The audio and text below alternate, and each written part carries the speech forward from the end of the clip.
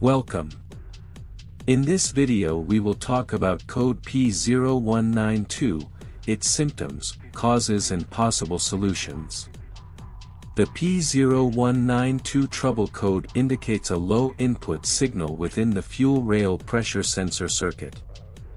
This code typically points to issues related to the sensor responsible for monitoring the fuel pressure within the fuel rail, potentially causing operational problems or inaccurate fuel pressure readings due to a low input signal.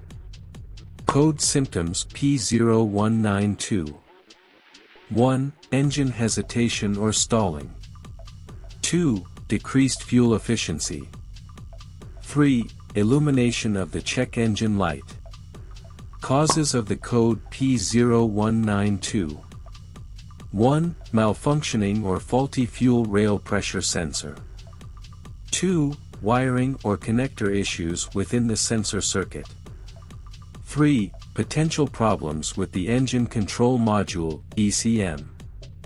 Code Solutions P0192 1. Replace the fuel rail pressure sensor if it is malfunctioning or providing low input signals.